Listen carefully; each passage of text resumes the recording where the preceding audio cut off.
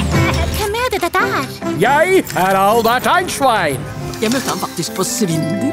Hæ?